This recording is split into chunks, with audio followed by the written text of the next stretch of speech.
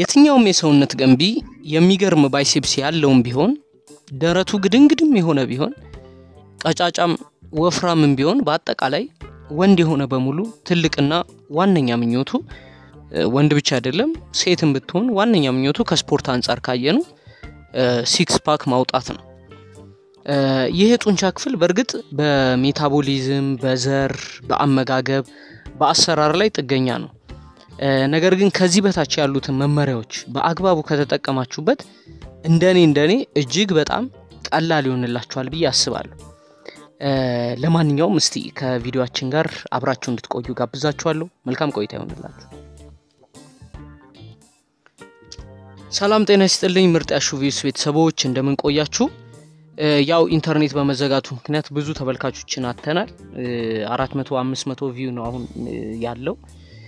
ነገር ግን በሌላ መልኩ ደግሞ ስታዩት እጅግ በጣም ጠቃሚ ነው። ምክንያቱም ምንድን ነው የሚያየው ሰው እንዳለ ያው ከኔትወርክ መዘጋት አንጻር በ VPN ነው የሚያየው። ስለዚህ ይሄ ደግሞ እጅግ በጣም ከምላችሁ በላይ ለእኔ አስፈላጊ ነው፣ ጠቃሚ ነው። ስለዚህ ሁል ጊዜ እንደዚህ ቶሎ ቶሎ ቪዲዮ እንድሰራ እናንተ ደግሞ እኔ ቪዲዮ መስራት ግዴታዬ ነው አይደል? ለእናንተ የሚጠቅም ቪዲዮ ማምጣት ግዴታዬ ነው። እናንተ ደግሞ ራሳችሁን እንደ ግዴታ አስቡትና ምንም የሚጎድልባችሁ የሚጎዳችሁ ነገር የለም። አንድ አፍታ VPN አብርታችሁ መጠቀምን በዚሁ ልምድ ብታደረጉት ደግሞ የበለጠ ይጠቅመኛል። ይሄንን ነው ከእናንተ ማስቸግራችሁ። ለማንኛውም ቀጥታ ወደ ላይ ወደ ገለጽነው መመሪያዎች እንሂድ። የመጀመሪያው መመሪያ ጥሩ የ six pack ለማግኘት እና ፈጣን የሆነ የ six pack ለማግኘት የሰውነትን የስብ መጠን መቆጣጠር ነው። ይሄ እንግዲህ በጣም ወሳኝ የምንለው ነገር ነው። የ core ስራ ሰርተን core ራችን ጠንካራ ቢሆን የሆድ ስራዎችን ሁል ጊዜ ብንሰራ እርግጡን ልንገራችሁ የፈለገ ይመጣ ሆዳችን ሊጠነክር ይችላል፣ core ራችን ጠንካራ ሊሆን ይችላል። ግን six pack ግን የሚታይ six pack ግን ላይኖረን ይችላል። ምክንያቱም የስብ መጠን የሰውነት የስብ መጠን እጅግ በጣም ከፍተኛ አስተዋጽኦ ስላለው ማለት ነው። ስለዚህ በቀላሉ ከፍተኛ የሆነ የሰውነት ስብ መጠን ዋነኛው የ six pack ጠላት ነው ብንል ማጋነን አይሆንም። ከዚህ በኋላ የምናያቸው guideline ኖች እንዳለ ይህንን የስብ መጠን ለመቀነስና ለማጥፋት የሚጠቅሙ ነገሮች ናቸው። ስለዚህ በ exercise ብቻ የ six pack ን አመጣለሁ ብላችሁ ብትለፉ ከንቱ ነው። ጂም ገብታችሁ ሁሌ የሆድ ብትሰሩ ሁሌ እንትን ብትሉ የተወሰነ ያክል የሆድ ስራው በራሱ በሚያመጣው የስብ ቅነሳ የተወሰነ ልታዩ ትችላላችሁ። ግን ቋሚ የሆነ ደስ የሚል six pack ግን ማውጣት እጅግ በጣም ከባድ ይሆንባችኋል። ስለዚህ የ six pack ዋነኛ ጠላቱ የስብ መጠን ነው። አንድ ሰው እንግዲህ ጤነኛ የምንለው ሰው ከ8 percent እስከ 20 percent ድረስ የስብ መጠን በሰውነት ውስጥ ሊኖር ይችላል። ከስድስት በታች ከሆነ ብዙ የጤና ችግሮች ወይም ጉድለቶች ሊያመጡበት ይችላል። ከ20 percent ም በላይ ከሆነ ደግሞ የ fat መጠኑ ከፍተኛ ይሆናል፣ obesity ነው። ስለዚህ የስብ መጠኑ ከፍተኛ የሆነና ብዙ ነገሮችን ሊጎዳው ይችላል፣ ህመም ነው። ነገር ግን ከ8 እስከ 20 ጤነኛ የምንለው ነው። ወደ 8 ወደ 13 ዝቅ ባለ ቁጥር ደግሞ የበለጠ six pack ኡ በከፍተኛ ሁኔታ እየወጣ ይመጣል። I think ከዚህ በፊትም ነግሬያችኋለሁ። በዓለም ላይ ሶስት percent መሰለኝ record የያዘ አንድ ሰው እያለ እስካሁን የገጠመው ችግር የለም። ከዚህ በታች ግን የሚወርድ ከሆነ አብዛኞቹ የሰውነት system ኦች collapse እንደሚያደርጉ እንደተናገረው ነው ሲናገር የሰማሁትና እኛ ሀገር የስብ መጠን መለኪያ የለም። እንዴት ማወቅ እችላለሁ ብላችሁ ልታስቡ ትችላላችሁ። አንደኛው ነገር ቆዳችሁን በመቆንጠጥ ማወቅ ትችላላችሁ።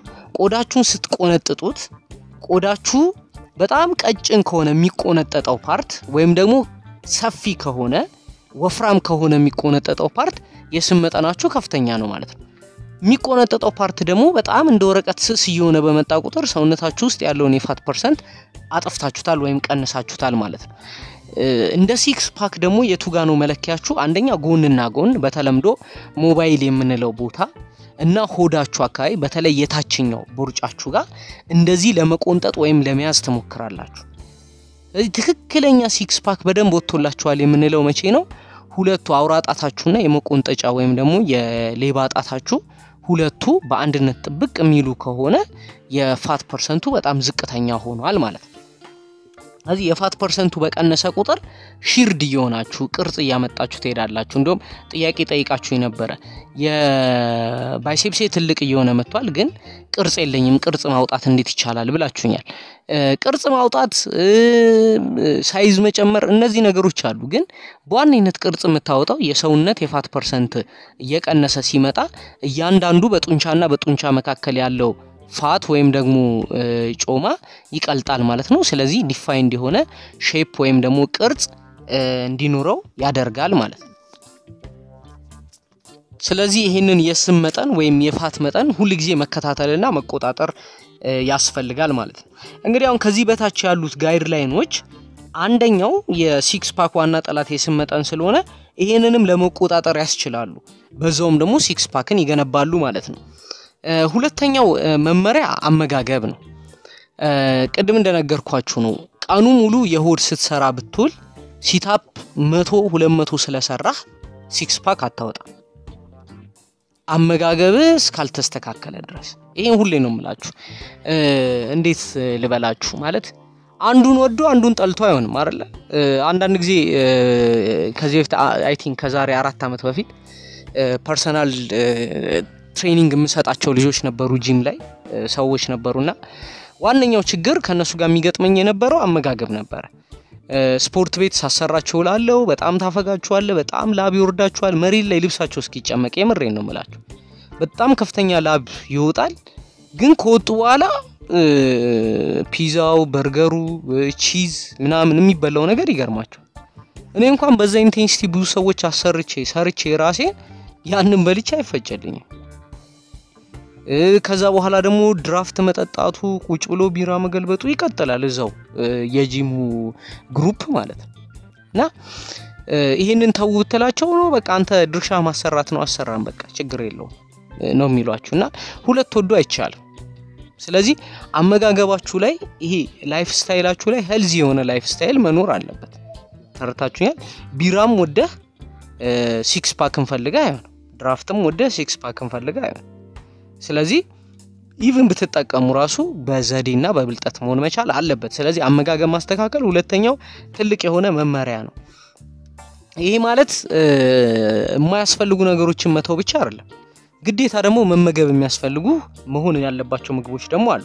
ለምሳሌ the whole carb የምንላቸው ይሄ ማለት ከነ ፋይበራቸው ምናምን ያሉ carb ኦች best carb ኦች የምንላቸው አሉ። best ካርቦሃይድሬት ምግቦች ለምሳሌ አንደኛው quinoa ነው። quinoa እንግዲህ ከዚህ በፊት ሰርቼበታለሁ አይታችሁታል ቪዲዮን ብዬ አስባለሁ። quinoa አሁን አሁን በአገራችን እየተለመደ የመጣ በፊት ግን ያልነበረ እጅግ በጣም high protein ያለው እጅግ በጣም ጠቃሚ የሆነ ደስ የሚል የጥራጥሬ አይነት ነው እና ከፍተኛ ፕሮቲን አለው። ፋይበሩ ከፍተኛ ነው። እንዲሁም ከስጋ ተዋጽኦ የምናገኛቸውን ይሄ ሁሉንም የ essential የምንላቸውን የፕሮቲን አይነቶች በሙሉ በውስጡ የያዘ ጥራጥሬ ነው እና quinoa ን መመገብ እጅግ በጣም አስፈላጊ ነው። ሌላው brown rice ነው። brown rice በብዙ ቦታ የማታገኙት በእኛ ሀገር ያልተለመደ የሩዝ አይነት ነው። ብራውዝ ብራውን ራይዝ አንድ ጊዜ እንደዚህ ፈልጌው ሱፐር ማርኬት ያላሰስኩበት የለም እና ፋይናል የት መሰላችሁ ያገኙት? በቃ ማለት ኦልሞስት ከኮልፌ ቀራኒዮ ክፍለ ከተማ ምናምን ያሉትን ልደታ ክፍለ ከተማ ላፍቶ አካ ያሉ ሱፐር ማርኬቶችን አስሼ የት ነው ያገኙት? መቻሬ ጋ ያለ አይ ቲንክ ፋንትሽ ወር እንደዛ ሱፐር ማርኬት ነው ያገኘሁት የነበረው በጣም ተፈልጎ ማለት ነው። እና ብዙ ጊዜ ያልተለመደ አብዛኛው ጊዜ የማንጠቀመው እንትን ነው ምግብ ነው። ሌላው ስዊት ፖታቶ ነው። ስዊት ፖታቶም በብዛት ክረምት ላይ ምናምን የምንመገበው ነገር ግን የዕለት ተዕለት አመጋገባችን ላይ ልንከተው የሚያስፈልግ ነው። ይሄ የስኳር ድንች ማለት ነው። በጣም ጥቅሙ ከምነግራችሁ በላይ ነው። ፍራፍሬዎችን ማብዛት ይሄም በጣም አስፈላጊ ነው። ከዛ በተጨማሪ ከካርቦሃይድሬት እና ከስብ መጠን የምንመገበውን ምግብ ወደ ፕሮቲን concentrated ወደሆነ ወይም ፕሮቲን ወደ በዛበት ምግብ መቀየር አንደኛው best tip ነው። ፕሮቲን የበዛበት ነገር መሆኑ ብዙ ጥቅም አለው። አንደኛ ጡንቻ ነው። six pack ጡንቻ ነው። ይህ ማወቅ አለባችሁ። six pack በራሱ ጡንቻ ነው እንጂ normal እንትን አይደለም። ስለዚህ ይሄ ጡንቻ recover እንዲያደርግ እንዲገነባ እንዲሰራ ከፕሮቲን የምናገኘው ካሎሪ ደግሞ በቀላሉ ወደ fat ስለማይቀየር ወደ ጡንቻ ስለሚቀየር ከካርቦሃይድሬት ከ fat የምናገኛቸውን ካሎሪዎች እንድንቀንስ የእነሱን መጠን እንድንቀንስ ያደርገናል ማለት ነው። እዚህ ጋር እንግዲህ ጠቃሚ የሆኑ ምግቦች አሉ ፕሮቲን ላይ እነ ስጋ፣ አሳ፣ እንቁላል እነዚህ best የሆኑ method ኦች ናቸው። ግን እንቁላል ላይ ስንመጣ ለምሳሌ ነጩ part ፕሮቲን የበዛበት ነው። ቢጫው part ደግሞ የተወሰነ ቅባት የበዛበት ነው። ስለዚህ ለ six pack አብዝተው የሚጨነቁ ሰዎች እንደኛ ሀገር እንኳን ያን ያህል consume ስለማናደረግ ለምሳሌ በቀን ስምንት እንቁላል አስር እንቁላል ጠዋት ቁርስ ላይ የሚመገቡ body builder ኦች አሉ። እነዚህ ሲጠቀሙ ምንድን ነው የሚያደርጉት? ከአስር እንቁላል ስድስቱን ወይም ሰባቱን ነጩን ብቻ ነው ቢጫውን ይጥሉታል። ከዛ ሶስቱን ደግሞ ቢጫ ያደርጉታል። አንድ ላይ whole egg ያደርጉታል። ስለዚህ egg white ን ብቻ ነው የሚጠቀሙት protein content ኡን ለመጠቀም እና fat ኡን ላለመጠቀም። እናንተ እንግዲህ እንደምትጠቀሙት ተጠቀሙ። ሌላው unsatur- unsaturated የሆኑ fat ኦችን መጠቀም saturated ከሆኑ ይልቅ unsaturated የሆኑ unsaturated የምንላቸው የ fat አይነቶች ጠቃሚ fat ኦች፣ ኮሌስትሮል የሌላቸው fat ኦች ብለን መተርጎም እንችላለን። እነዚህ ለምሳሌ የለውዝ ቂቤ፣ ለውዝ በራሱ አቮካዶ የወይራ ዘይት እነዚህ unsaturated የሆኑ fat ኦች የምንላቸው ናቸው። ስለዚህ ከነዚህ ከጤነኛ ምግቦች ጠቃሚ የሆነ nutrient ማግኘት የ six pack ን ለመውጣት ያግዘዋል ማለት ነው። ጠቃሚ ያልሆኑትን ደግሞ ማስወገድ የ fat መጠኑን ደግሞ እንዳይጨምር እንድንቀንሰው ያደርገናል። የመጀመሪያው ከዚህ በፊትም ያለፈው ቪዲዮም ላይ ብያችኋለሁ፣ processed የሆኑ food ኦችን ማስወገድ። ይሄ ማለት በሁለት መንገድ አንደኛው በላብራቶሪ በፋብሪካ ተቀነባብረው የሚመጡ ህይወትን ያቀላሉ የምንላቸው ኢትዮጵያ ውስጥ አደለም six pack ተዉትና ካንሰር፣ ስኳር፣ ኩላሊት የምንላቸው ተላላፊ ያልሆኑ በሽታዎች መብዛት የጀመሩት መቼ ነው? ስልጣኔ ከመጣ በኋላ ህዝብ መብዛት እንትን ካለ በኋላ ይሄ modernization globalization የምንለው የአኗኗር ዘይቤ ከመጣ በኋላ ነው። ሰው በስራው ይሯሯጣል so ባለችው ትርፍ ሰዓት ከሱፐር ማርኬት የሆነ የታሸገ ምግብ እዛው የሚበላ ነገር ይመገባል። ወይም ደግሞ ቤት ሮጦ ገብቶ አምሽቶ ሲገባ እዛው ምጣድ ላይ እንትን pan ላይ ወይም መጥበሻ ላይ የተጠባበሱ ምግቦችን መመገብ ያዘወትራል። ስለዚህ ለእነዚህ በሽታዎች ለከፍተኛ የሆነ የስብ መከማቸት ይጋለጣል ማለት ነው።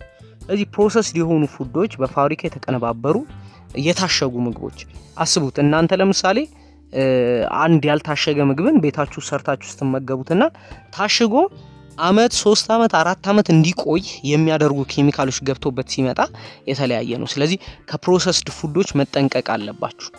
ከ fast food ኦች መጠንቀቅ አለባችሁ። በዘይት ከተጥለቀለቁ ምግቦች መጠንቀቅ አለባችሁ። ስጋ ምርጥ ሆኖ ሳለ በጣም በዘይት የተጠባበሰ ጥብስ ብትበሉ ግን ከጥቅሙ ይልቅ ጉዳቱ ነው የሚመጣው እናንተ ጋር ማለት ነው። ተረድታችሁኛል? ስለዚህ ይህን ማስወገድ ያስፈልጋል። ሌላው ሹገር የስኳር አጠቃቀማችንን የጣፋጭ ምግቦች አጠቃቀማችንን በጣም መጠንቀቅ መቻል አለብን። ሀምሳ ቤት ስንገባ እድሜያችን ወይም ስልሳ ቤት ስንገባ በበሽታ ከተያዝን በኋላ ወደህም ሳይሆን በግድ ታቆመዋለ ስኳሩ። ግን አሁን ጤነኛ እያለን እንደፈለግን መዋል እንደፈለግን መንቀሳቀስ እንደፈለግን መሯሯጥ በምንችልበት እድሜያችን ላይ ግን የስኳር መጠንን በአግባቡ በመጠኑ ብናደርገው ባናበዛው የተሻለ ነው ማለት ነው። ሌላው refined የሆኑ ካርቦሃይድሬቶችን መጠቀም አለመጠቀም ነው። refined የሆኑ ስንል በተለምዶ እንዴት ልበላችሁ፣ ይህ የፉርኖ ዱቄት ይዘት ያላቸውን ካርቦሃይድሬቶችን መቀነስ ያስፈልጋል። ለምሳሌ እንደ ዳቦ አይነት በተለይ ነጭ ዳቦ እጅግ በጣም በከፍተኛ ሁኔታ ከሚጨምር ነገር አንዱ ነው። አንዳንድ ሰው ሁልጊዜ ማታ ማታ ወይም ሁልጊዜ ጠዋት ጠዋት ነጭ ዳቦን ይጠቀማል። እንደምታውቁት ነው የዳቦ ቤት ሰልፍ እኛ ሀገር በጣም ረዥም ነው። ስለዚህ ያንን እየሰራህ ሲክስ ግን መመኘት ማለት ቅንጦት ነው። በሳይንሱ አካሄድ ኬር ነው። እንግዲህ ቅድም እንዳልኳችሁ ነው genetically ሊኖር ይችላል። አንዳንዱ ሰው ስፖርት ሳይሰራ ስለ ምግቡ ሳይጨነቅ ምናምን የሆነ defined የሆነ six pack ይኖረዋል። ከዛ ትንሽ በተለይ Virgo የሆናችሁ ሰዎች የ astrological ብታዩ መስከረም እስከ መስከረም 15 የተወለዳችሁ ሰዎች ከነሐሴ 15 እስከ መስከረም አካባቢ የተወለዳችሁ ሰዎች ካላችሁ ራሳችሁን ታዘቡ። አያለፋችሁም ለ six pack። ይሄ genetically ም naturally ም የሚያግዛችሁ ነገር ነው ማለት ነው። ሌላው ሶዲየም ያለባቸውን ነገሮች ማስወገድ ያስፈልጋል። ሶዲየም ስንል በአብዛኛው የለስላሳ መጠጦች ጨውን ጨምሮ ሶዲየም በሰውነታችን ውስጥ እየበዛ ሲመጣ የ fat መጠን እንዲጨምር ያደርገዋል ማለት ነው። ሌላው ያው ቅድም ብያለው alcoholic የሆኑ beverage ኦችን ማስወገድ ያስፈልጋል። alcoholic የሆኑ ስንል በተለይ እንደ ቢራ፣ ድራፍት የሆኑ ከፍተኛ የካሎሪ መጠን ያላቸው የ nutrient concept composition ኣቸው ግን በጣም ዝቅተኛ የሆኑ ማለት ነው። ይሄንን ስንል አሁን ለምሳሌ ይሄ ደረቅ አልኮል የምንላቸው እንደ ጂን፣ እንደ አረቄ፣ እንደ ውስኪ አይነት ነገሮቹ እነሱም ማለት አይደለም። እነሱም actually በተወሰነ መልኩ እንዲጨምርም የሚያደርጉበት ነገር አለ። ግን አሁን ያልኳችሁ ካሎሪ የበዛባቸውን መጠጦች ለማለት ነው። Okay ይሄ አመጋገብን ይመስላል። ሶስተኛው point እንግዲህ rectus abdominis ን እና core ን ማጠንከር ያስፈልጋል። እንግዲህ አሁን አመጋገባችን ምርጥ አድርገነዋል። የሰውነታችን የስብ መጠንን ለመቆጣጠር ስራዎችን እየሰራን ነው። ግን አሁንም ይህንን ብናደርግም ሆዳችን አካባቢ ቦርጭ ላይኖር ይችላል። ግን defined የሆነ six pack ግን ለማውጣት ግዴታ የ rectus abdominis ን መስራት ያስፈልጋል። rectus abdominis የምንለው ከ ribs ኣችን ወይም ከጎድን አጥንታችን ተያይዞ ከእምብርታችን በታች እስካለው የእግራችን መጋጠሚያ ድረስ ሶስት ማዕዘን ሆኖ የሚገባው በምስሉ ላይ የምትመለከቱትን አይነት ጡንቻ ነው። ተግባብተናል አይደለ? ስለዚህ ይህንን ጡንቻ በተገቢው exercise ኦች ማሰራት ያስፈልጋል። ከዚህ በተጨማሪ ደግሞ core ን ማጠንከር እጅግ በጣም አስፈላጊ ነው። እንግዲህ rectus abdominis የምንላቸው ስራዎች፣ core ን የማጠንከሪያ ስራዎች እንዴት ማወቅ እችላለሁ? የትኞቹ ናቸው? አሰራሩ የትኛው ነው የሚለውን ከዚህ በፊት ሶስት ቪዲዮ ሶስት ወር አራት ቪዲዮ ሰርቼበታለሁ። ስለዚህ እነሱን ማብራራት ሰዓት መግደል ካልሆነ በስተቀር ያን ያህል አስፈላጊ ነው ብዬ አልልም። እንዲሁም አንደኛው በቀን አስር ደቂቃ ብቻ በመስራት በሀያ ቀን ውስጥ እንዴት six pack ን ማምጣት እንደምትችሉ የሚያግዝ ስራ አለ። ያ ስራ እንግዲህ አሁን በእነዚህ በምንላቸው guideline ኦች ካልተደገፈ ልፋት ብቻ ነው የሚሆንባችሁ። ስለዚህ እነዚህን exercise ኦች description box ላይ link ኣቸውን አስቀምጥላቸዋለሁ። exercise ኦቹን የ six pack አሰራሮቹን የማታውቁ ካላችሁ እነዛ ላይ ገብታችሁ በደንብ guide ያደርጓቸዋል፣ በደንብ ያሰሯቸዋል። core ኣችሁንም rectus abdominis ኡንም በተብራራ መልኩ አስቀምጬላችኋለሁ። እሱን ማየት ትችላላችሁ። አራተኛው መመሪያ የእግር ስራ መስራት ነው። አብዛኞቻችን እንግዲህ ጥያቄ ልጠይቁኝ ትችላላችሁ። የእግር ስራ ከሲክስ ፓክ ጋር ምን አገናኝ? ይኸውላችሁ የሆዳችን ጡንቻ እጅግ በጣም ብዙ ነገሮች ላይ ከሰውነታችን ቅርጽ ጀምሮ እያንዳንዱ ስፖርት ቤት የምንሰራቸው ስራዎች በሆዳችን ጡንቻዎች ላይ መሰረት ያደረጉ ናቸው። ለምሳሌ ቁመህ ሊሆን ይችላል የትከሻ ስራ ብትሰራ፣ የደረት ስራዎች ስትሰራ፣ deadlift ስትሰራ፣ squat ስትሰራ ያለ ሆድ እንቅስቃሴ ምንም ትርጉም የለው። ሆድ ደካማ ከሆነ እነዚህ ስራዎች ላይ ወይ ወገብ ላይ ችግር ያመጣል፣ ቅርጽህ ላይ ራሱ። ስለዚህ ሆድ ጠንካራ ሆነ ማለት እነዚህ ነገሮች እንዳለ የሚያሰራ ነው። ስለዚህ አንድ ሰው የእግር ስራ በሚሰራበት ጊዜ በቀጥታ ሆዱ ተሳታፊ ይሆናል። specially core የምንለው ይሄ መሰረት የምንለው ወሳኙ ማለት ነው ውስጣዊ የሆዳችን ክፍል በከፍተኛ ሁኔታ እንዲሰራ ያደርገዋል። አንድ ሰው ትከሻው ላይ አንድ ከባድ ብረትን አስቀምጦ ቁጭ ብድግ ልስራ ብሎ ቁጭ በሚል ሰዓት balance ኡን ይዞ አስተካክሎ ወጥሮ ወደ ታች እንዲወርድ የሚያደርገው ምን? ሆዱ ነው፣ core ህ ነው። squat ስትሰራ ሆድህን ነክተ መሞከር ትችላለህ፣ እንዴት ጥንክር እንደሚል እንዴት እንደሚያፈጋ ማለት። ስለዚህ የእግር ስራዎችን ስትሰሩ፣ የ deadlift አይነት ስራዎችን ስትሰሩ በከፍተኛ ሁኔታ core ኣችሁ rectus abdominis ኣችሁ stabilize ለማድረግ ይሄ ማለትም ቀጥ ለማድረግ ያንን ክብደት ተሸክሞ ወደታች ለመውረድና ለመነሳት ከፍተኛ አስተዋጽኦ ያደርጋል። ስለዚህ እግርን ማሰራት ይሄ የማይተካ ሚና የሌለው ያለው ስራ ነው። ስለዚህ አንድ ሰው እግርን ሳያሰራ six pack ን define ማድረግ እችላለሁ ብሎ ቢል ቀልድ ነው የሚሆነው። ሳይንሱ ይቀልድብሃል። ስለዚህ በጣም ነው የሚያግዛችሁ የእግር ስራ መስራት ማለት ነው። ከዚሁ ተያይዞ በሰውነታችን ካሉት ከየትኛውም ጡንቻዎች ትልልቆቹ ጡንቻዎች የሚገኙት እግር ላይ ነው። ከዛ በተጨማሪ እግራችን ላይ በጣም ብዙ አይነት ጡንቻዎች ነው ያሉት። ይሄ ማለት ምን ማለት ነው? ዛሬ የእግር ሰራህ ማለት ሰውነትህ ብዙ ካሎሪ ብዙ energy እግርህን ለማከም ያወጣል። እነዚህም ብዙ ጡንቻዎች recover እንዲያደርጉ ብዙ energy ይጠቀማል ማለት ነው። ተረድተናል። ስለዚህ የእግር ስትሰራ በሰውነት ውስጥ ያለውን ከፍተኛ ካሎሪ እያቃጠልክ ነው ማለት so ምን ማለት ነው? ከፍተኛ ካሎሪ እያቃጠልክ ነው ማለት ቅድም ያልናቸው ለአደጋ ጊዜ ተብሎ ሊሆን ይችላል። በተለያየ condition ሰውነታችን ውስጥ ከፍተኛ ካርቦሃይድሬት በመኖሩ ምክንያት ከፍተኛ energy በመኖሩ ምክንያት ተሰብስበው ወደ ሆዳችን አካባቢ ወይም ወደ biceps ደረታችን አካባቢ የተቀመጡ ስቦችን ለማቅለጥ እጅግ በጣም ጠቃሚ ነው ማለት ነው። ምክንያቱም ከፍተኛ ካሎሪ ከፍተኛ energy እየተቃጠለ ስለሆነ የሚከማች ካሎሪ አይኖርም ማለት ነው። ስለዚህ አራተኛው መመሪያ ይሄ ነው። ሁለት መመሪያዎች ይቀሩናል። ቪዲዮ እንዳታቋርጡ አብራችሁን ቀጥሉ። እስካሁን ከመጣችሁ እንግዲህ ይሄ ቪዲዮ ጠቅሟችኋል ማለት ነው። ከጠቀማችሁ ደግሞ subscribe ማድረግ አትርሱ፣ like ማድረግ አትርሱ። በ VPN መመልከታችሁንም ለእኔ እንደ ትልቅ ውለታ እንደዋላችሁልኝ ቁጠሩ፣ ተመልከቱልኝ። አምስተኛው መመሪያ እንግዲህ ውሃ በደንብ መጠጣት ነው። እንግዲህ ምን ይባላል መሰላችሁ? ማን ላይ ሆነሽ ማንን ታሚያለሽ የሚባል አባባል አለ እና የሰውነታችን ሁለት ሶስተኛው ክፍል ውሃ ነው። ስለዚህ ሁል ጊዜ ቤተሰብ ዘመድ መሆን ያለብን ከውሃ ጋር ነው። ምክንያቱም የሰውነታችን ስሪት ሙሉ ለሙሉ ውሃ ስለሆነ ማለት ነው። ተግባብተናል። so አንዳንድ ሰው ውሃ አብዝቶ ሲጠጣ ውሃ ያወፍራል እንደዚህ ይላል የሚል ጽንሰ ሀሳብ ይኖረዋል። አደለም፣ ትክክል አደለም። metabolism ን ከማፍጠን አንጻር፣ የሴል ስራን ከማቀላጠፍ አንጻር፣ ለጉዳት እንዳንጋለጥ ከማድረግ አንጻር፣ ቶሎ እንድናገግም ከማድረግ አንጻር፣ ስብን ከማቃጠል አንጻር ውሃ የማይተካ ሚና አለው። ስለዚህ አንድ six pack ማውጣት የሚፈልግ ሰው ውሃ አብዝቶ መጠጣት አለበት እናንተ ልጠይቃችሁ፣ ውሃ መቼ ነው የምትጠጡት ብላችሁ አብዛኞቻችሁ በተለይ እንደ ኢትዮጵያ ውሃ የምንጠጣው ምግብ ስንበላ ብቻ ነው በቃ ወይም ደግሞ የሆነ ከጠማን እና ሰውነታችን ከጠየቀን እንጂ ውሃን እንደ ቋሚ ነገር በሆነ በሆነ ሰዓት ጋፕ ግን አንጠጣውም እና ለእኛ ውሃ ያን ያህል አስፈላጊ ጉዳይ እንዳልሆነ አድርገን ነው የምናስበው።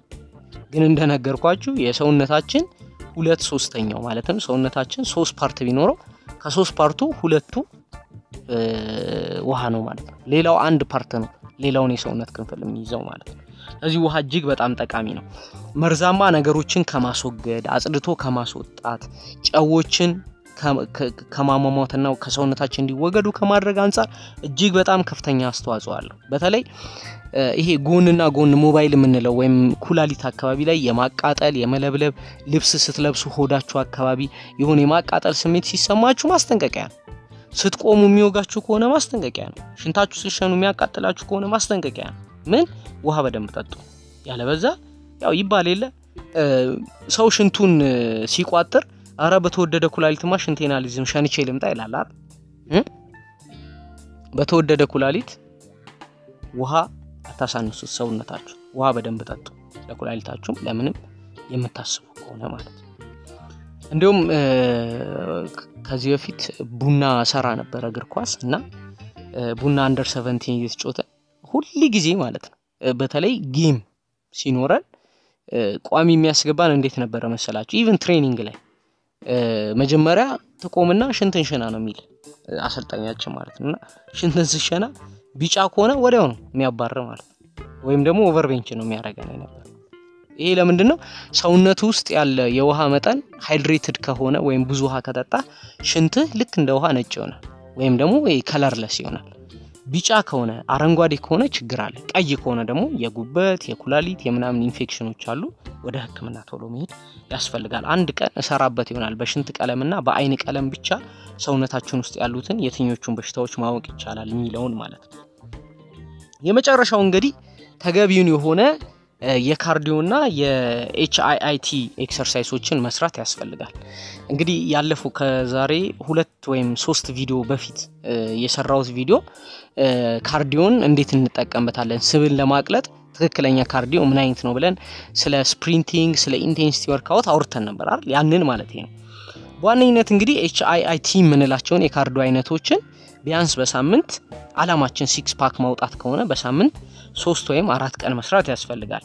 HII ምን ማለት ነው?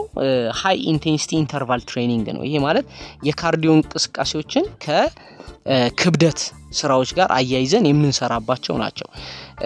ምናልባት የተወሰኑ HI exercise ኦችን እዚህ ጋር attach አረግላችኋለሁ። ግን በዋነኝነት ደግሞ ዩቲዩብ ላይ ገብታችሁ HII exercise ብትሉ ብዙ exercise ኦችን ያመጣላችኋል እና እነዚህ high intensity ናቸው። high intensity ማለት በከፍተኛ energy የሚሰሩ በመሀል ያላቸው ረፍቶች በጣም ትንሽ ወይም ዝቅተኛ የሆኑ ስራዎች ናቸው። ስለዚህ እነዚህን high intensity interval training ኦችን በመስራት የስብ መጠንን በከፍተኛ ሁኔታ በመቀነስ ቅድም እንዳልኳችሁ ውሃ በመጠጣት እነዚህን ነገሮች በማድረግ six pack ኣችንን define ማድረግ እና ተፈላጊውን የሆነ six pack ማግኘት ይቻላል። ተግባብተናል። so six pack ህልም አይደለም። six pack ፍላጎት እና ለዛ ፍላጎት መሰጠት ስ አንድ ሰው በህይወቱ በጣም እንዲሳካለት ወይም ጎበዝ ተማሪ ለመሆን ማጥናት ጠልቶ ግን ውጤት ማምጣት ወዶ አይሆንም አይደል? በተመሳሳይ መልኩ ምን ማድረግ አለበት? ለዛ የሚያስፈልገውን መስዋዕትነት እየከፈለ በተገቢ መልኩ ማጥናት አለበት አደለ?